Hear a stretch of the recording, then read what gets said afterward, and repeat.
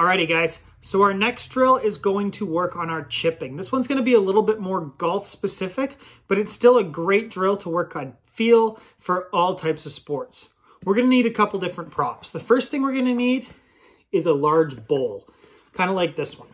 You can use a box if you don't have one, but anything that can have something be put inside it will work.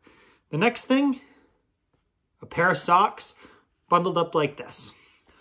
All I'm gonna do is put my bowl over here, and I'm gonna go back and stand over here. Now, holding my socks in my dominant hand, which is my right, I'm gonna go back and let go with a nice little pivot and try to toss my socks underhand into the bowl.